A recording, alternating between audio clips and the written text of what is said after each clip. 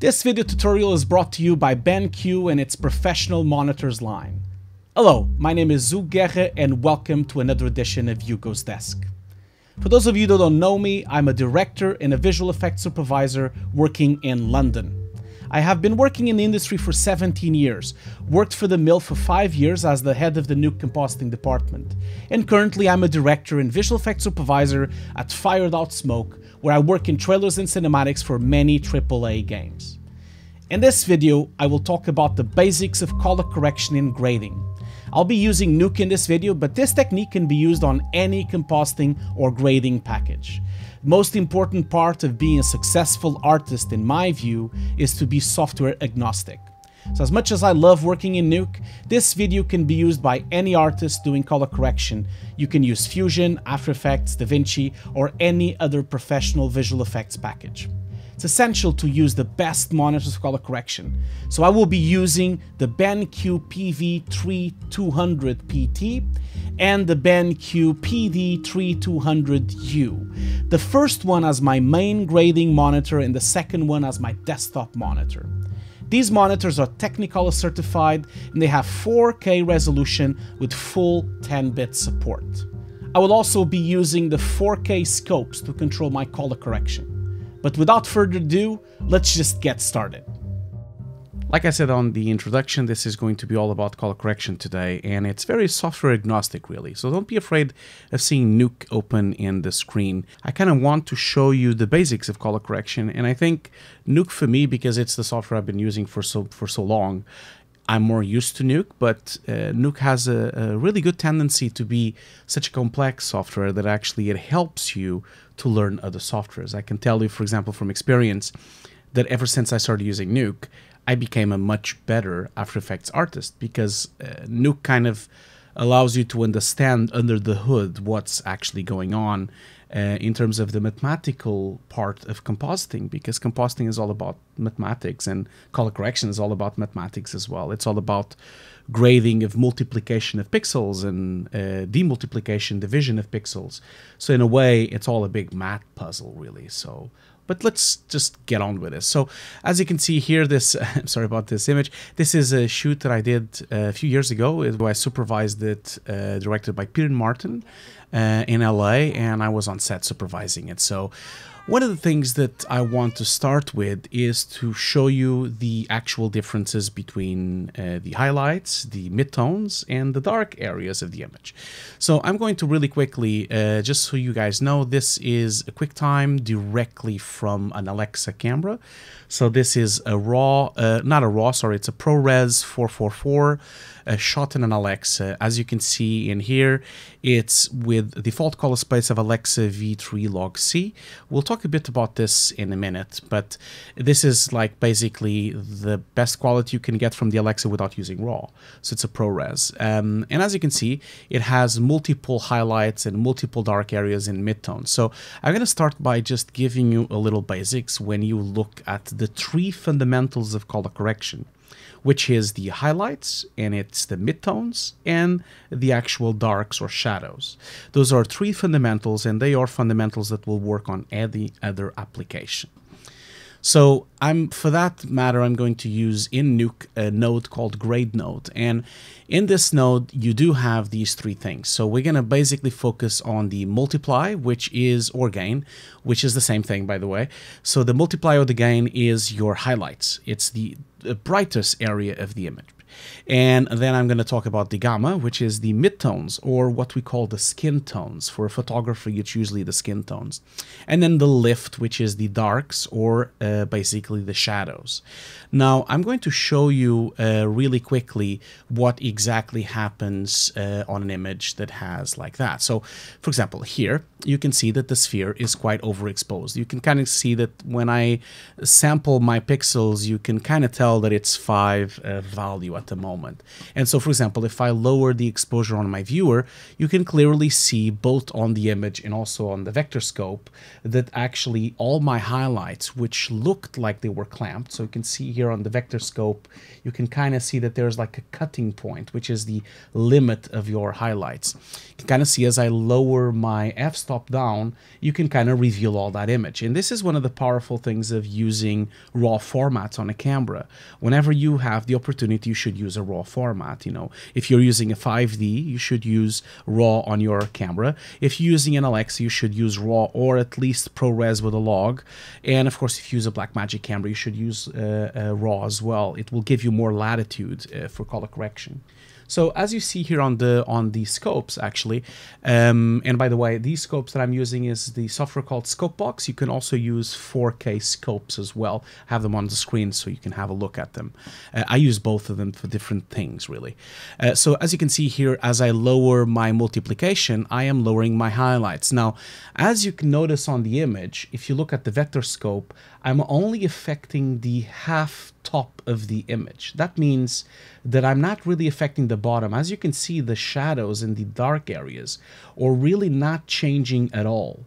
That means I'm actually compressing and basically multiplying the values. So I'm basically making it more small, and that's why it becomes darker because I'm actually multiplying it by 3. Now, why is it called multiplication? It's called multiplication because that's exactly what it is. If I go here and sample these pixels, you see these pixels are 4 uh, 0.8, 4.9, 4, uh, 3.9 on red, green, and blue. But you see, if I go here and do by half, you can clearly see that now it's 2.4, 2.4, 1.9. And if I put by 2, I have now multiply it by 2. So for every pixel that I am selecting in the image, so for example, if I select one of these blue pixels in my shirt, for example, normal values is 003, 004, 008. So if I multiply it by 2, you see that you get the double of that. You, so it's like what I was saying in the beginning. Compositing and color correction is nothing like a mathematical equation. So if it's 03 of that pixel, if you multiply it by 2, it becomes 06. And if you multiply it by uh, 5, it becomes times 5. If I split it by half, then it becomes half of that value. This is really important for you to understand because that's why the multiplication and the gain controls only affect the highlights. Because if you multiply a pixel of 0 by 2, you get 0 that's the thing like nothing will happen and so multiplying pixels that are dark doesn't really matter because if it's black, it's black. It doesn't really move. That's what you need to keep in mind. So on the other hand, there is this section of the highlights, which I'm affecting. Now let's talk about the gammas, which are the midtones. Now, if I start changing the midtones, you can clearly see in your graphic on the vector scope here that actually everything moves. So I'm basically affecting the middle section of the image because middle tones or midtones or anything that is considered that is not black or it's not white. So if you think of white of being pure one, that's really a highlight, that's top. And then you have blacks, which is zero. So everything in between is a midtone. And that's why photographers usually talk about midtones and they talk about skin tones because those are like the gray values, you know. So, um, for example, if I change here on my gamma, you can kind of see that I can change just the midtones. And as you can see, the highlights stay as they are in the sphere, you can kind of see that, that they are still very bright, and the blacks kind of stay where they are. Of course, there's no pure black on this image. Last but not least is the lift. Now, the lift is what we call the shadow. So if you look at the vector scope here, you can clearly see as I move the lift, I'm actually compressing the bottom. So I'm, I'm basically moving my black pixels or gray pixels above. So I'm basically switching them to become brighter. And that's why it gets a compression. You see the midtones in the middle here. So you see these on the bottom here or the actual uh, dark pixels that used to be dark. And then on the middle, there's the midtones. And then on the top, there's the highlights. And so that's what the lift does. The lift basically is like it, the name says, lifting the shadows, lifting the black areas. To show you this a bit more in action, I'm actually going to open up another type of image, uh, just just to make it a bit fresh. So this is a, a piece of image shot in an Alexa as well. This was done for a short film that I supervised uh, called The Fields. Um, and so this is like a sci-fi short film. Of course, you can click on the link to actually see the film, just like you saw on Baby Teeth as well. And so in here we have the same kind of deal. So I'm going to put another grade node here, and I'm going to show you this in great effect. So as you can see here, if I multiply down, you can see the highlights on these windows are now revealed. If I gamma up, I can now basically get the image a bit more gray, a bit more washed out, or I can get the image much more contrasted. And then of course the lift is basically giving color to the dark areas. So keep in mind that whatever you give on the lift, you're basically adding color or adding values to the shadows or to the dark areas. It's almost like if you would have tinted, for example, if you wanted to tint the shadows in some kind of light. So imagine if it's a sunny day, you could tint it with some red tones. And as you can see here, all the dark areas are now getting reddish. So that's something you need to keep in mind. So this is what we call a color lookup in Nuke, and a color lookup is nothing more than a curve that you can find in Photoshop or you can find it on any other application.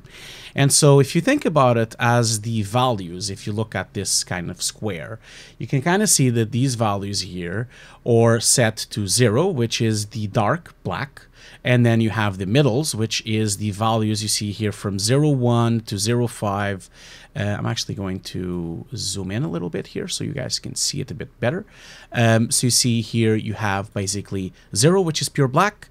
Then you have uh, 0, you know, 2, 0, 3, 0, 4, 0, 5, which is pixels of that value, and then all the way to 1. And so you see the curve here uh, doesn't at the moment have any other points. For, for example, if I put a point on the middle here, and maybe I can even put points on the other two middles as well. And now, so now you see if I start moving around with the center curve, you see what I'm actually doing here, I'm, I'm actually moving the gamma. So if you look at the vector scope here, you can clearly see that I'm changing the midtones of the image. So that means that whatever pixel was 0.5 on that area now is 0.6.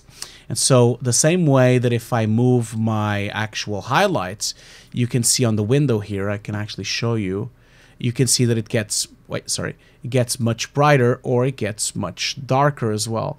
Same deal again, you can kind of see on the vector scopes that the highlights are actually coming down on that corner. You can kind of see them in this area here. And so that's kind of how I want you to kind of think about it. And of course, the dark areas would be here. So for example, if I lower all the values to zero to below zero, of course I get pure black. And so keep in mind that the different areas of the image have to do with this curve. So now let's jump into another application, just see how that could work. Now, most of the people kind of think that uh, applications are all very different, but actually they're not. The thing to be keep in mind is that these concepts can be used on any application. So try to be software agnostic. It will always be giving you the biggest chance to actually have work and to work on as a visual effects artist or even as a grader or a colorist. So you see, for example, on this photo, this is just a photo of my desk, of the desk that I'm recording this right now. You can kind of see that you have some really bright areas, really dark areas with blacks, and of course the midtones. And just like in Nuke, in uh, Lightroom or in on Photoshop, you kind of control the light with the exposure node. Now, the exposure node, again, is like you see in the histogram here. It's actually affecting the highlights only. So you can see that my blacks are still black. You can kind of still see that it's all black here. And as I bring in the highlights, you can kind of see that almost nothing else is affected. Now, of course, this, um, just going to put this normal. The same goes for the lift. So the, the, the lift in Nuke is what we would call the shadows inside Lightroom. So see, if I improve the shadows, I'm basically giving values to the dark areas, which is what the lift was. And then, of course, is the same thing with the highlights. The highlights or the actual top midtones of the of your uh, you know of your image. So if you think about highlights being really really bright, then the highlights on a picture, you can kind of lower them. Of course, you need to be careful, especially in here, on this area here. You can kind of see that you're now bringing it so low that it's actually getting clamped. And so, as you can see, both on Nuke or in Lightroom or in Photoshop or even After Effects, things are very much the same. And so that's what I wanted to show you. I kind of want to show you that the basics of color correction, as long as you know what a highlight is, a midtone is, shadow and dark area is, you can kind of get a way around any compositing application or any grading application. Now, of course, this is just the beginning. This is really 101. I mean, we're going to go much deeper. This is like just the start of it. Now, of course, keep in mind, not always everything is beautiful, like you just saw. So here's an example of a piece of footage that I recorded last year for a short film that I directed in Sweden with my students at Eksjö uh, and Campus I-12. This is a short film called Oak Lake, which we just did a trailer, and you can check out the trailer on below. Now, uh, this uh, particular shot was shot on a hotel, and it was shot with a Blackmagic 4K camera, which is an older older camera, which has a much smaller uh, latitude. It only has 12 f-stops of latitude against the 15 f-stops of the Ursa uh, Pro that I'm actually filming this tutorial with. Uh, so the range is really monumental. Like if you look at, for example, these values here, it looks all good. And if you look at the vector scopes, you can kind of see that these highlights are there. Now, if I start using the multiply down, I can lower some of the highlights. But as you can see, there is, uh, by looking at the actual image here, you can clearly see that there is a gap. It's almost like it's cut. The reason it's cut, it's because it's lost all of its dynamic range. And so there is no more image here because we've reached the sensor's limit. This is uh, still from a short film that I supervised a few years ago. Uh, it's basically a short film directed by Peter Levolsy and it's called Leonard in Slow Motion. Uh, which actually stars Martin Starr, which is a, a very good actor of uh, fame of Silicon Valley. So this image has actually everything. It has highlights, it has midtones, it has dark areas. And so if you use the grade node, you can kind of see that I can lower the highlights of the lamp there. You can clearly see that I can recover. You can actually see it really well here on the on the vector scope. You see that's the lamp there. So after a while you start recognizing the shapes in the vector scope. I really recommend you to getting a vector scope. Now, don't use Nuke's vector scope. Nuke's vector scope is is is is rubbish. So as you can see here, you can clearly see that this is Leonard here, and this is the lamp, and this is the sofa. You start recognizing the values in the images actually in the in the thing. And so you see, if I start lowering, you can kind of clearly see that the lamp now has every single uh, latitude. Now this piece of footage is from a red camera. The red cameras have an enormous, it's a red epic, it have they have an enormous latitude of, of dynamic range. So you can kind of see that nothing is lost against the footage that you just saw from Oak Lake where you actually have a clipping problem. You have a clipping issue. And, and, this is the same thing if I would have put a clip here. So imagine if I would have put a clamp, which is a node that basically clips everything white to black. It basically clips all values from 1 to 0. You see here, now it has a clip in the lamp. So that's what you don't want. And as you can see here, the, the actual resulting image is very bad because instead of having all this kind of nice tonality of orange, you lose it and it's all clamped. I'm sure you've seen this before when you start doing color correction with GoPro footage or if you start doing color correction with 5D footage, you see this immediately. So keep that in mind, you know, uh, your color correction is always only going to be as good as the footage that someone gives you. Keep that in mind. Now, if we're going to go a step further, imagine that we don't want to just color correct just with the basic, basic values of just having lifts, multiplies, and gammas. So in Nuke, there is another node called the color corrector. Now, the color corrector is basically a node that has a lot more values and a lot more ways if you actually doing certain types of color correction. It still has a master area, which is the saturation, contrast, gamma, gain, and offset. And now the color corrector node in Nuke is much more used for creative color correction. So it's not as much used for something like the grade node, which is to, to basically fix an image.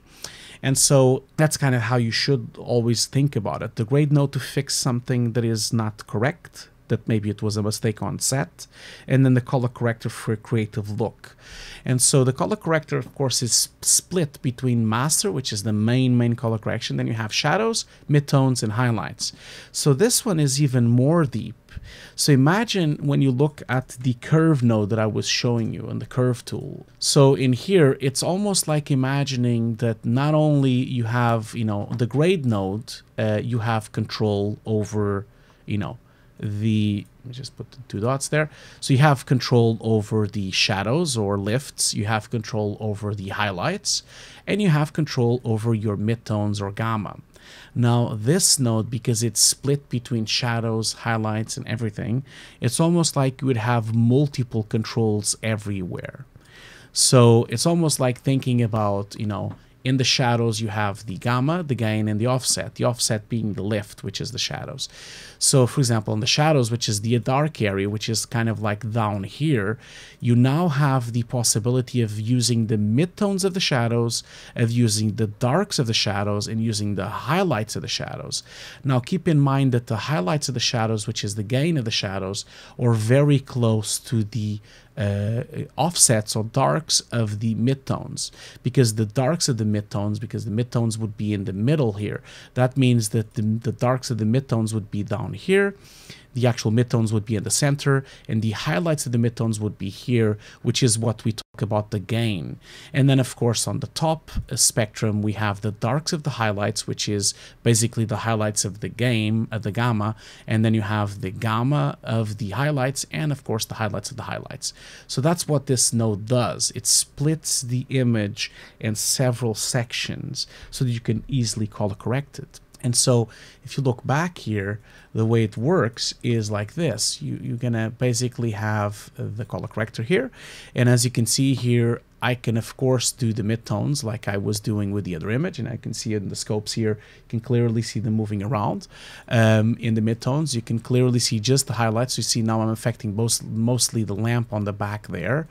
And then of course I have the offsets which is my shadows and now the offsets are basically introducing some kind of gray or some kind of whitewashing in the dark areas. Now the cool thing with this is that now on my shadows I can control the midtones of those shadows. And now I can actually control the highlights of those shadows as well. So it's much more pronounced, it's much more fine detail color correction. Now keep in mind, of course, that you do have the ranges as well. The ranges, if you click testing, it's basically giving you the opportunity to select what you think is the midtones, the highlights, and the shadows. So for example, in here, you can clearly see that the colors are representing the highlights and the shadows. So if I now, for example, move the highlights down or move the highlights up, I'm actually telling Nuke that the highlights are actually bigger range. So for example, if I do it all the way here, that means I'm saying that the highlights starts on 0, 2 almost. It actually has the value there, you can kind of see. So this is basically giving Nuke's information of where my highlights start and also where my shadows end. So for example, the shadows currently are in 008. So every pixel that is below 008 is considered on the shadow area. So if I if I increase this, now of course I'm going to affect the shadows as 01. That means that when I go in back to my color correction, my shadows, when I affect the gains, the gammas, and the offsets, I'm actually affecting pixels all the way from 0 to 0, 1. And on my highlights, I'm affecting all the pixels from 0, 4 to 1.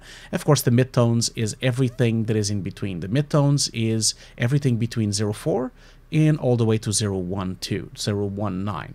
So keep in mind that this is almost like a keyer to pick the to select the areas that you're uh, giving notice to nuke. Okay, this part is this area here, all the values from 0 to 1, 9 is shadows. All the values from 1.9 to 1.4 is midtones. All the values from 0.4 to 1 is highlights and beyond, of course. This is, of course, going to matter for every image. Like every image is going to be different. Every image is going to have its own values that you have to kind of set apart.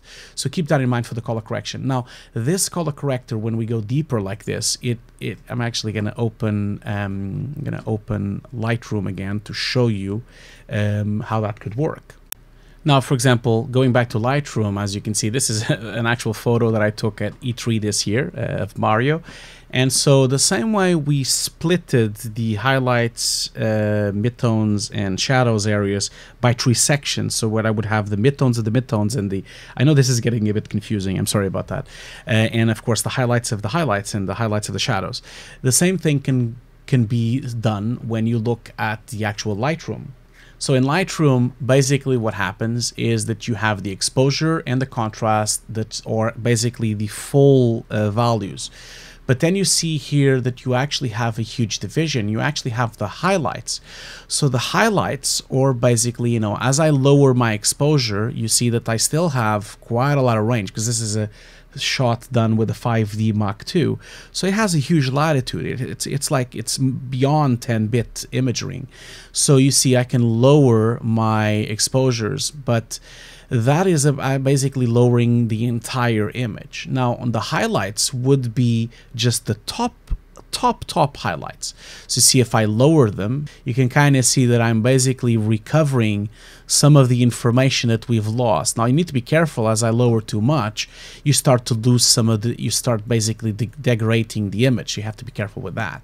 The same goes for the shadows. Now I have the shadows which allow me to actually basically change basically the dark areas. So if I go here, down here to this guy, I can actually recover most of that image and actually see him. Of course, I'm going to get a lot of grain, but I can actually see more of him. And the same goes for the blacks. So the blacks still allow me to even push the darks even further. The same way we saw it in Nuke, you can kind of see that there is a curve here as well. So this curve is literally the same curve as you saw in Nuke. But you see here, it actually even helps you with this. It actually tells you that this area here is the shadows and actually it highlights it there. I, I really love sometimes Adobe with these kind of things uh, because they're really, really user friendly. So as you can see here, this area here is the shadows, which as Adobe says, it's between 12, you know, all the way to the darks, which is 22%. So you see the shadows or that area in Nuke that we were talking about, if I switch to Nuke really quickly, um, you see the shadows are basically the area that we talked about, which is this area here with these nodes here with the shadows. Going back here, and it all goes away all the way to 22. Then from 22, we go to the darks, which is the dark area all the way to 37, 49, and 53, which are now the midtones, which he considers are the lights. And then we go here all the way to the highlights, which start on 90%. Now, the difference is that, of course, in here, I can't really pre-select. So, but you see, if I start moving around these curves here, I can clearly see that I'm affecting the dark areas only in here. I can darken them up. I can actually affect just that area there as well, which is the lights. You can clearly see them on the curve here. And of course, I have my highlights, the top, top highlights, which are the brightest pixels of the image, and then the shadows, which are the darker images here as well here, which allow me to contrast the image.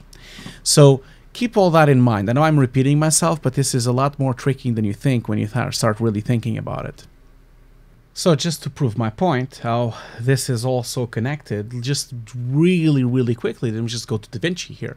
So this is DaVinci Resolve, uh, which is free, by the way. You can go and download it if you want, or it comes with the camera, just like when I bought the Blackmagic, it came with the camera. And so once you're in DaVinci Resolve, it's the same thing. Once you have this clip, this is exactly the same clip. The only difference, though, is that it seems much much darker, doesn't it? So I'll, I'll, explain to you in a minute about why that's happening. So if I open Nuke, I'll, I'll show you exactly what I mean. So you see, in, in Nuke, you can kind of see that the sphere is really, really bright compared to DaVinci. Um, and so, for example, if you look at DaVinci, it looks much more washed out. The reason for that is because DaVinci is actually does not have a LUT system on top of the images. And this is, of course, something that we'll talk about on later episodes, but I just wanted to mention to you that's why it looks different. Because DaVinci, you're used to in DaVinci applying LUTs per clip or applying LUTs per sequence. It doesn't really have a LUT on the viewer because it's a color correction tool. And a LUT is basically a color correction. So so keep that in mind. And for example, if in Nuke, you know, the problem of this is that problems happening here is that Nuke's default LUT is going on here. So if you look at above here on the top, you can kind of see that there's a LUT of none, uh, sRGB, Rec 09, or Rec 1886. Now DaVinci works with a none uh, LUT, so there's no LUT applied on top of the image. Um, and of course this is still looks wrong. And the reason it looks wrong is because in Nuke, the LUT is being applied by the color space. So you're actually imp importing a color space into the image. You're basically putting the Alexa V3 log C into the image. And now what you do need to do is you need to linearize it because in Nuke everything is linear color space. There is no notion of 8-bit or 16-bit in Nuke, not like in After Effects. Um, whenever you work in Nuke, it's always 32-bit float, always, at all the time because of that, you have to linearize your images. You have to convert them to linear. And the way it, it, it works inside of Nuke is that for the Alexa footage in, in specific, you would have to put um, a LUT. So basically, I would have to download. Um, usually, what I do is I. So this is a software called ARRI Color Tool, and it provides you LUTs for all sorts of cameras, and basically you can export the LUT from there. Uh, I've exported the LUT already, so I'm, I basically have the LUT, and then I can import it back in in using the vector field, which is a node that allows you to import LUTs. I have the LUT already here, and so if I apply it to my footage, um, the only thing I need to do is basically tell them, okay, color space in is Alexa V3 log C, color space out is linear, so it's linear light. So now, if you look at my piece of footage, it looks almost identical to DaVinci's piece of footage. Now on DaVinci, I would also have to apply the LUT from ARRI in it as well. So I would have to go here, just a second,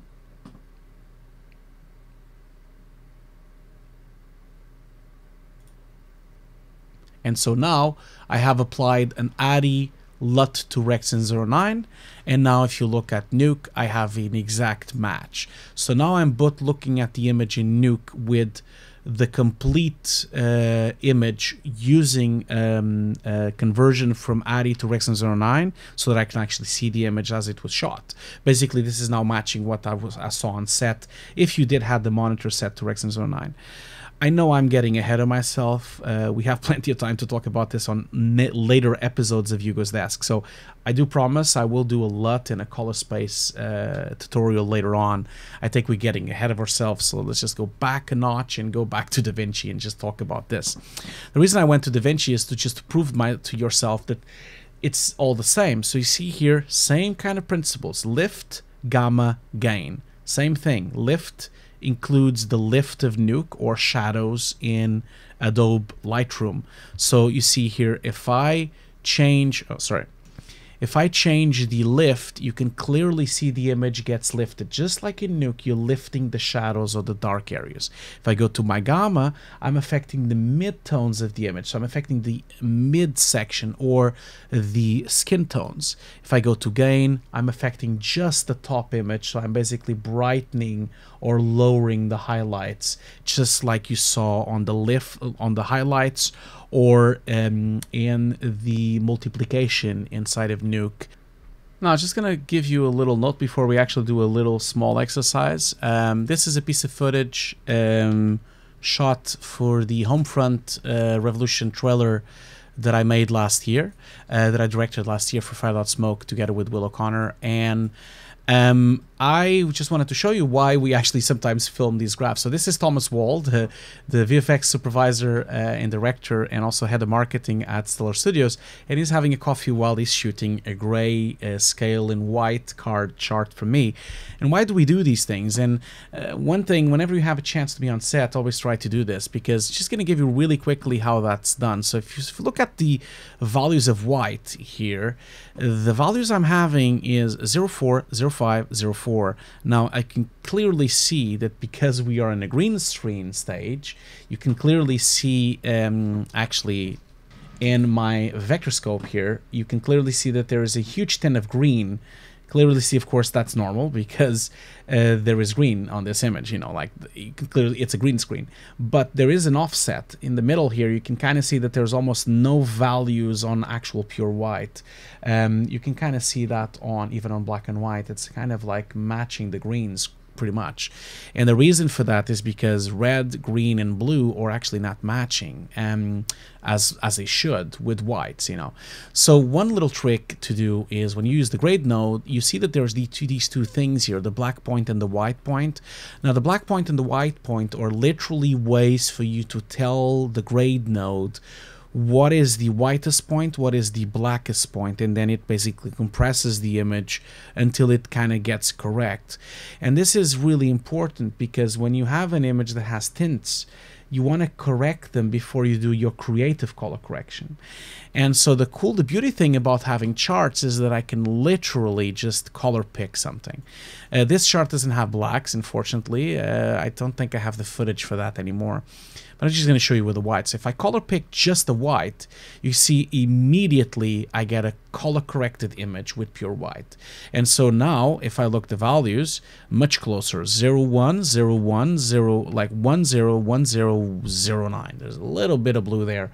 And as you can see when I disable my grade node you can clearly see that the center image there that is now much more in pure white realms and so keep that in mind uh, when you're doing uh, color correction. Now, if I had pure black, I could have sampled the black as well. Now, I don't have pure black, but I can actually figure it out because if I increase my gamma uh, or even increase my f-stop, I can kind of find out what's the darkest area. So you see the darkest area in this image is under his uh, shirt here. So I now can actually uh, color pick under that section there and that will give me the black points. And so if I now look at the image now my black point is also corrected. So now I have pure blacks and pure whites uh, all the way to 1 0 and to 1 and so now this is a color corrected image. And now it's a much bigger much better image for you to start.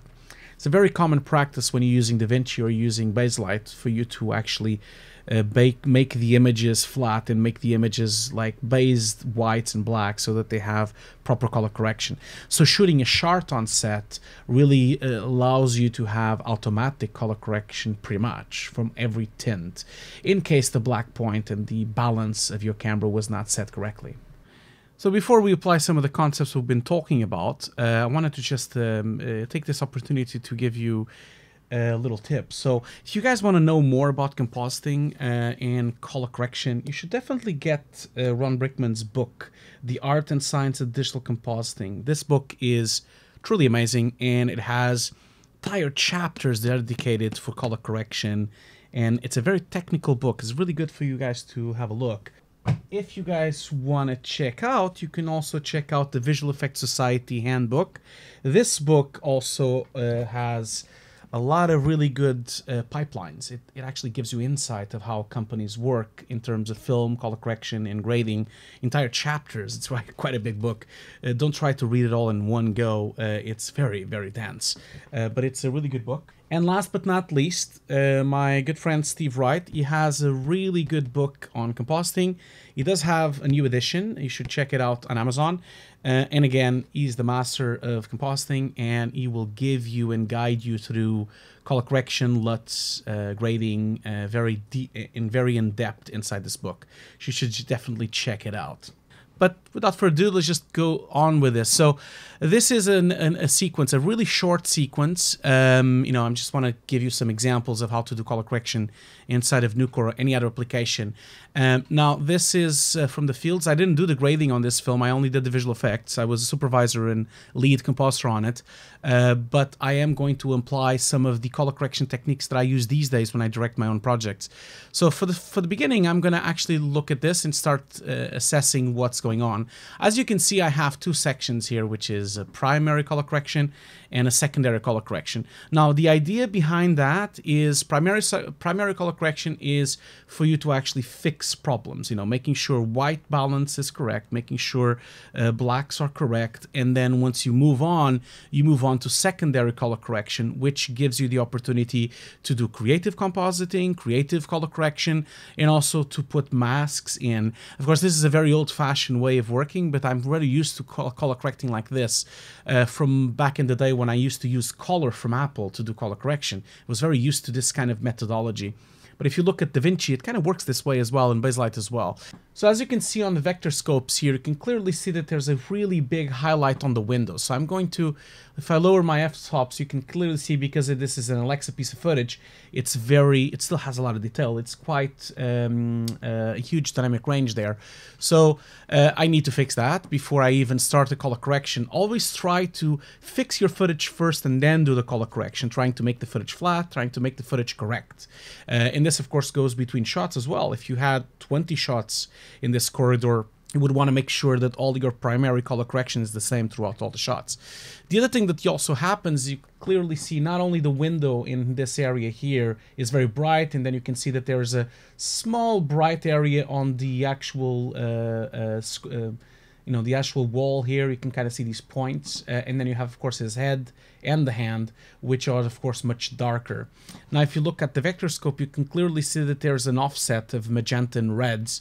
It's kind of like off-centered, and that's because the image is not fully white and black. You need to kind of color correct it back into its place. The way I'm going to do this is I'm going to put a grade node here. I'm going to start by effectively telling nuke uh, where the black point and the white point is. So I'm going to start with the white, with the black point. Now, for it, first to see the black point, literally you just have to increase the exposure to maximum uh, and that kind of provides you an insight of what's the darkest on the image so in this case i'm going to color pick um, i'm actually going to color pick some something like this, a few pixels here. Now there's a lot of noise on this image, so of course you need to pick a bunch of pixels, otherwise you're going to pick a specific color, so you need to be careful with that. Um, so that's the black point, uh, and then the white point, you're basically going to basically lower your gamma to try to see the saturation. Now, there is one thing you cannot do. You cannot pick the white point from the window. Remember, the window is being affected by the sun, which has a different temperature. And then inside the corridor, we have the temperature of the lamps of the corridor. So you have to be careful. Uh, so you want to kind of affect the light inside this room because that's where your action is happening. You can always color correct the window separately. So you see the brightness thing is actually this wall. So I'm going to pick up the, the white point and I'm going to sample a section of that wall if I bring back my viewer to uh, as it should and look through the viewer, you can kind of see that now I used to have an image that was very much in the scopes here. You can kind of see that that we had like um, uh, tonality of um, you know very much leaning into reds and now we have much more centered color. Of course it's brighter, that's the issue we have to deal with as well. It's a bit too bright, but now whites are whites, blacks are blacks. They don't have any tints. It's very important for you to color correct without any tinting whatsoever. The tints could come from the camera, maybe the white balance is not correct, or it could come from bad treatment of the footage, it could come from wrong color spaces. I've, I've gotten things from all sorts of types of things. Uh, so with that in mind, I'm actually going to lower the multiplication a little bit just to write, so that I can lower uh, as it was. So if I look at my vector scopes, you can see that before we had basically um, a range between the values of the highlights there. So I'm gonna I'm gonna try to lower my multiplication so that I have a similar tonality of what I had before. Um, it doesn't need to be perfect, but as you see here, by looking at the vector scopes, it's very close now. You know, it's just a little bit brighter, but it doesn't really matter. Um, so it's just a bit bit less bright. And of course now, instead of having this tint of red, it actually is white. So this is now my primary color correction done. The other thing that I'm going to fix is this window here. I could try to fix the window with a color correctors because I can pinpoint that highlight. And so if I go to the ranges, I could go in here and say that my highlights are a bit bigger, my shadows are a bit smaller, so I have a bigger range. And then in here, I could try to recover that window by using the gamma only on the highlights.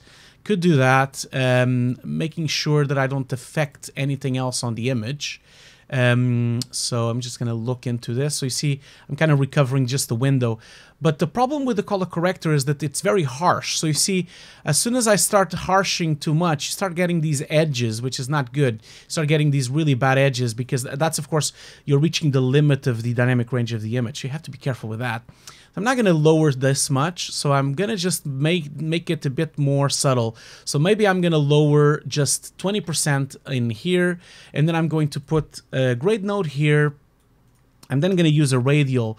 Uh, you'll see that I use radials a lot. I like radials. Radials are a great way for you to pinpoint a mask without having to do a mask. So I'm basically going to just select that area of the image there and then I'm going to attach it to that grade node. Of course, this radial will have to be animated or tracked. And that's simple. I just put a tracker. And again, we can do this on DaVinci. We can do this on After Effects. It doesn't really need to be done here.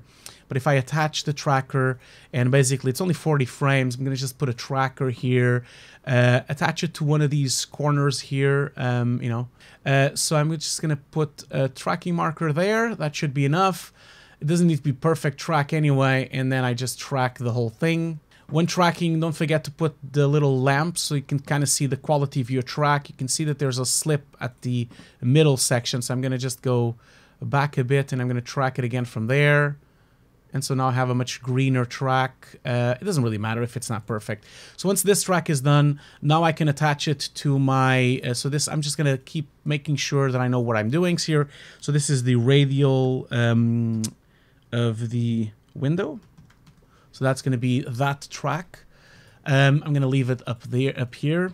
Now, the thing that I'm going to do is I'm going to transfer the tracking data. So a couple of ways of tracking, transferring the, the data. You can actually express it or you can copy it over or you could just literally uh, just go to the first frame, copy the tracker, paste the tracker into the radial, uh, and then basically say you want a current frame, and basically you want to do a match move and now your radial should move with your image. Now be careful with the fact that the radial is being cropped at the moment um, so I want to make sure my radial is all inside the image. I'm just making sure it's not cropped um, so that I don't have uh, an image that is cropped and tracking and then I track it and now it should move with the image it's all good. Now I'm only I'm only gonna actually just move the radial. So if I now start lowering my multiplication, kind of see that I'm affecting the radial there, which is the wrong place. I'm only I'm only gonna really quickly just put a transform node and just move the radial to the window so it doesn't get cropped. So I'm gonna put it just right there. Um, and then of course the grade node can't be this harsh. This is a bit too much. So the, the whole point here is that you see, because I've done a grade node with a radial, I don't get these weird artifacts that I was getting with the color corrector. So the grade node made a much better image. And as you can see, if you look at the scopes now, you can clearly see that I have now salvaged that section and recover that quality. So that's now good. So for me, in, in terms of primary color correction, this is now done. I have uh, done an image that has white good white balance. One thing I'm going to do is, because you see that you can kind of see the props of the lights there, uh, this was supposed to be done as a 235 aspect ratio image anyway, so I'm going to put the bar so that I don't have to look at that. So it's it's a much more cinematic look. So you see I've recovered that, I've recovered um, uh, the white balance. There's still a few things to do, but now I'm going to start doing some creative color correction, and creative choices. So first off, I tend to do one thing when I do these kind of projects. I tend to focus on, you know, just like a color corrector would do in Baselight or in DaVinci, usually colorists or grade artists, they, they tend to fixate on the language of the actor and they try to fixate on the actual message that is being told. So with that in mind, I'm going to put a grade node and I'm going to again use another radial um, and I'm going to try to uh, recover some of the face. So I'm going to make sure that this grade node actually says face. So again, uh, secondary color correction is basically when you start using masks.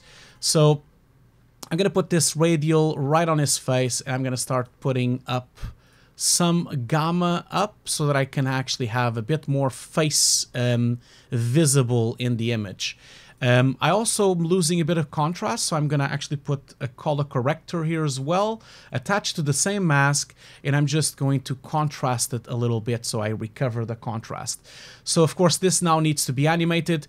You don't really need to track it. You could track it, of course, but you know sometimes it's faster to just animate it by hand, especially on a sequence this short. So I'm probably just going to fixate it on his nose and just kind of animate uh, in between uh, frames here Again, this can be done in After Effects or DaVinci. You don't really need to do this in Nuke. Um, I'm basically trying to teach you some techniques that you can use on any application by keeping and sticking to your principles of multiplication, highlights, gamma, and midtones. So in here, what I did on his face was I basically improved the highlights and the midtones, and then I made a bit of contrast. And, and already out of, out of the bat, you can kind of see that this was my original image, and this is my new image. So as you can see now, the spectator was looking at the window. Now the spectator is not looking at the window anymore, now they're looking at him. And the window is a secondary section, which is really what you want, except if there was an actor there, then it would have been different. But the main shot here is to look at him. So I've improved the actual quality. Of course, now we're getting a bit too much saturation, but we have to deal with that as well. I'm going to put a, so that I can see it on my Blackmagic out here. I'm actually going to put a 245 aspect ratio on the back there so I can actually see it on my scopes and I can actually see it on my black um, on my BenQ uh, monitor as well.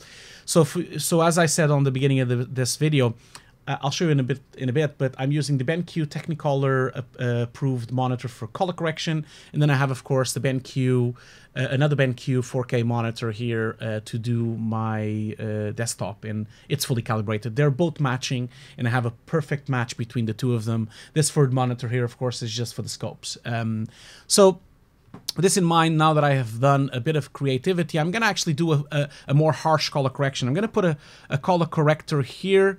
Um, I'm actually going to call this uh, creative grade. I'm going to go into my ranges. I'm going to make sure my midtones or my darks are a bit smaller and my midtones are a bit wider because the image is not as strong. Um, and I'm going to now uh, start doing some color correction. Now, this is a sci-fi film, so I'm going to go into the cliche of going into my midtones, which is just the skin tones and the uh, gray areas of the image, and I'm going to go into my midtones and just start fiddling around with some color. So I'm going to basically introduce some green tint, just like the Matrix, you know. Uh, I know it's a bit 90s, but just gives it a bit of a green tint. Uh, it might be a little bit too much, but I'll go back to that. Then as well, I'm going to remove some saturation from my image, just a little bit, uh, so that I have uh, a bit less saturated image. I'm basically taking away about 20% of saturation. Then I'm going to push the contrast a little bit further. So as you know, probably contrast is always by crunching the, you know, if you look at the scopes here, you can kind of see what contrast does. Um, you see contrast with level like that, what happens when I start contrasting a lot, I start sliding this value here, you can kind of see what happens is my highlights go all the way up, my blacks go all the way out. So basically what contrast is doing is basically extending the midtones and compressing the blacks and the whites. That's what contrast is doing. It's like a, a Constantine effect on the image.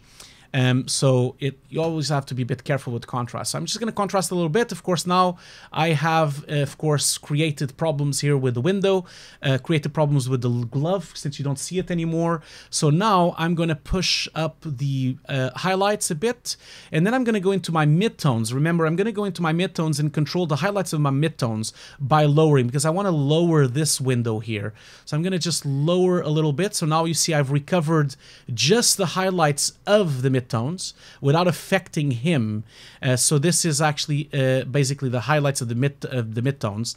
Then I'm actually going to increase the overall midtones to get a more cohesive image.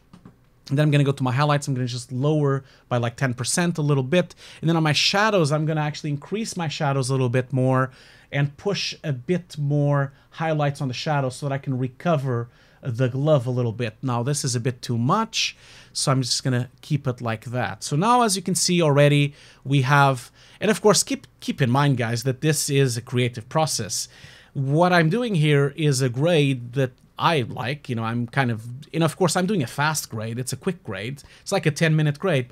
So uh, you guys might have other visions on this. You know, you might want to do it as a 70s look, or you might want to do it as at a at a blue tint. So it's not about the final color correction. This tutorial is to just give you a pipeline.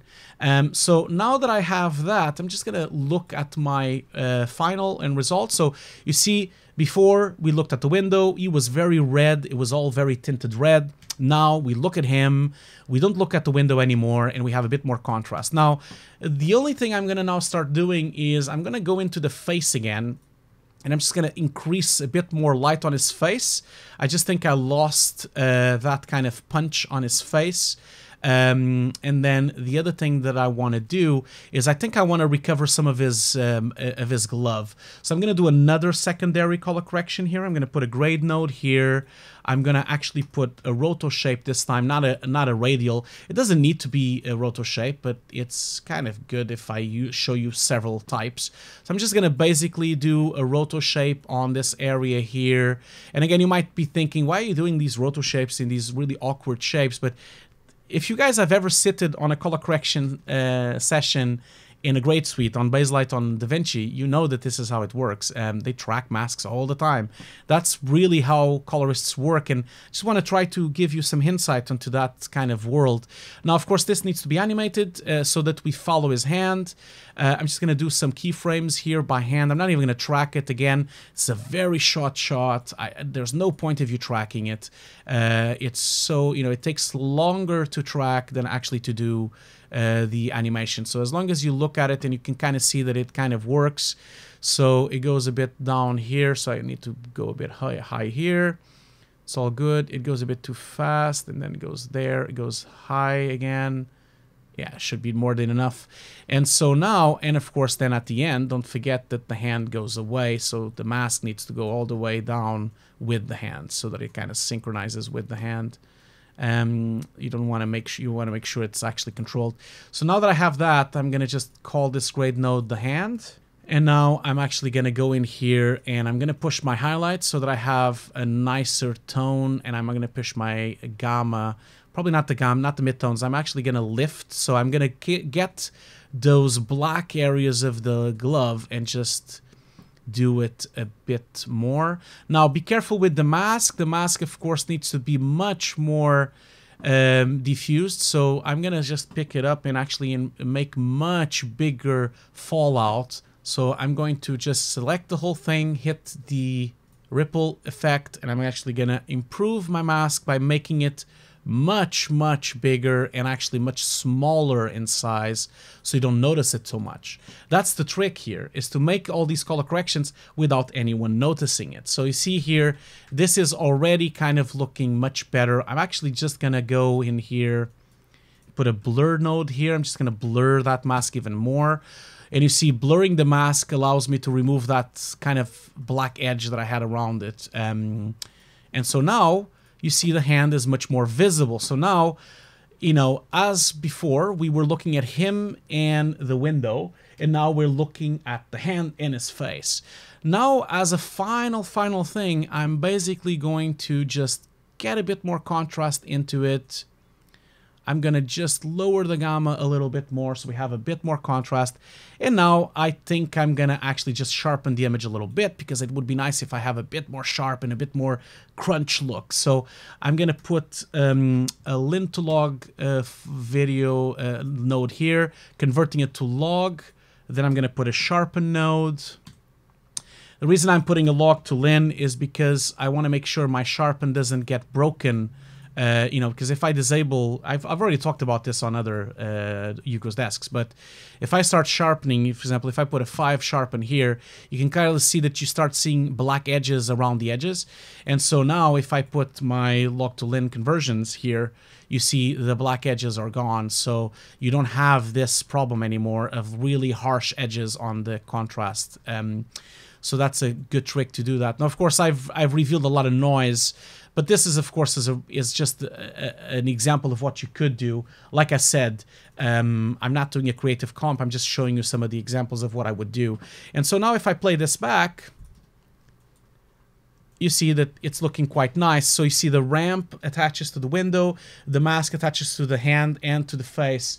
And now we basically focus on him um, much better. Now, one of the things that I'm kind of seeing is that we're having a huge bright area in the middle there. I think that could be fixed by just either putting a mask there. I think I'm gonna just gonna do a mask there uh, because I think I'm just gonna compensate it. Or I could use the mask I already have now I'm going to put a mask there. So if I put a grade node again, uh, no, actually, if I go to this color corrector, yeah, that's right. If I go to the main color corrector we had on the primary color correction, I think that is coming from here. So if I lower, yeah, there you go. If I lower the gamma on my color corrector here, I can kind of lower that section there and it looks much, much better now. Um, I actually also think that maybe the window needs to be a bit lower as well the window is not as important. I'm also going to actually put a saturation node here and disable the saturation a lot on the window so we don't look at it more. And I actually think that for me to focus even more on him, I would probably put a ramp as well. Um, ramps are really good tools for color correction. Uh, because it's a really good way for you to do a, a harsh color correction on a very uh, big piece of image. So I'm just going to put the ramp quite where he is, all the way to the to the window uh, where it's white. And I'm actually going to just do that. And then this will give me an opportunity to lower that entire corridor a bit more so that we don't look at it so much. I'm also going to put a color corrector there and I'm actually going to lower the uh, saturation of that entire thing, and that's it. So I don't want to spend much more time on this, but you can kind of see that even looking at what we've done here, it's looking much better, you see. I would denoise I would denoise the image actually, by the way, before I would do this because I think I the color correction is really breaking the noise a, a bit. So I would probably denoise the image and then I would kind of actually put the noise back. I think that would be the best way.